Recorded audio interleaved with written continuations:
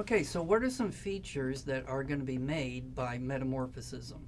So we've already talked about foliation, and so this is going to be whenever you subject the, the minerals to directed stresses, and you can see that it can cause the minerals to reorient themselves so that originally the minerals might look something like this where they've got different orientations but then after the stress has been applied then they look more like this. So it can reorient the minerals. It can segregate the minerals into bands. So that was what you'd find in the metamorphic rock gneiss.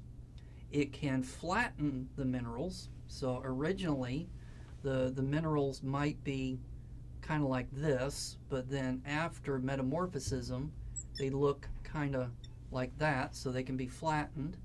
And it's not just the minerals. So sometimes a rock will have pebbles or rocks in it, and then the pressure being applied to those pebbles will cause them to flatten.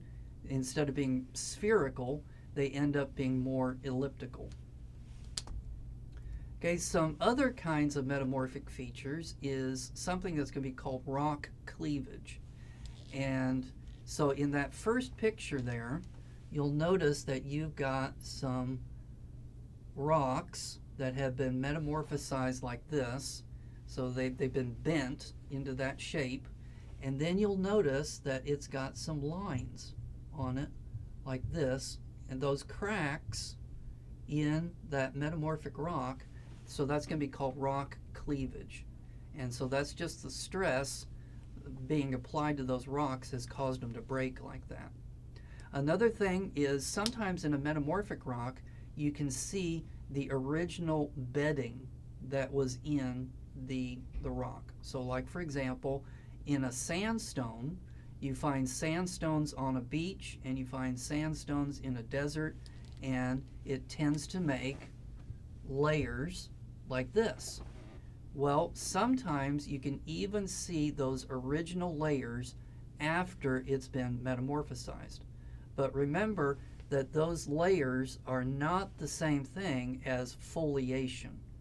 So it's not that the, the, the sand grains have reoriented themselves to make the layers like in a gneiss.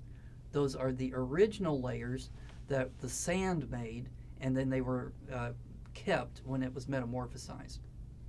And then the last picture there shows a shear zone in which you had these two rocks that were originally like this, and then because of the forces, they were sheared like this. And so that you'll notice that the rock is up and down, and then it makes a curve, and then it does that. So that's where the rocks are being smeared out as a result of metamorphism.